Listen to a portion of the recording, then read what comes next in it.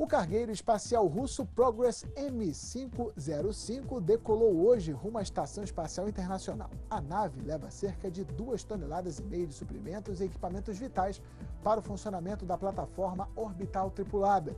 O lançamento foi realizado a partir da base de Baikonur, no Cazaquistão, com a ajuda de um foguete Soyuz, informou o Centro de Controle de Voos Espaciais da Rússia.